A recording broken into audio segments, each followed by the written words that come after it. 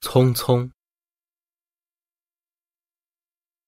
燕子去了，有再来的时候；杨柳枯了，有再青的时候；桃花谢了，有再开的时候。但是，聪明的，你告诉我，我们的日子为什么一去不复返呢？是有人偷了他们吧？那是谁？又藏在何处呢？是他们自己逃走了吧？现在又到了哪里呢？我不知道他们给了我多少日子，但我的手确实渐渐空虚了。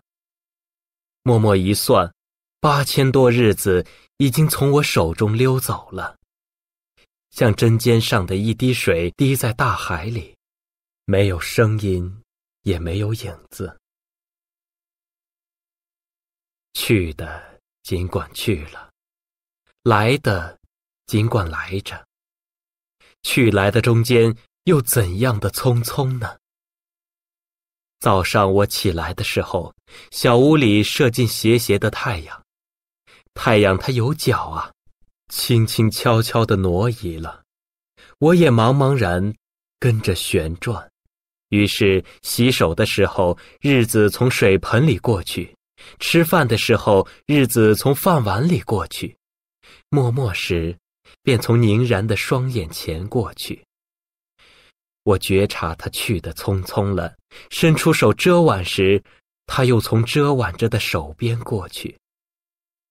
天黑时，我躺在床上，他便伶伶俐俐的从我身上跨过。从我脚边飞去了。等我睁开眼和太阳再见，这算又溜走了一日。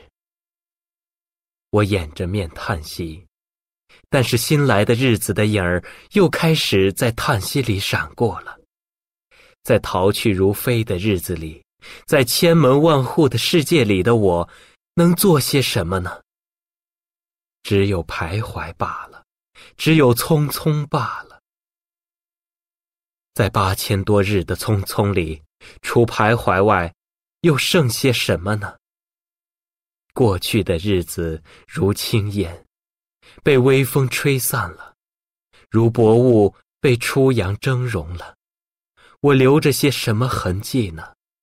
我何曾留着像游丝样的痕迹呢？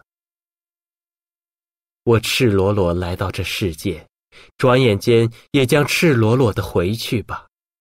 但为什么偏要白白走这一遭啊？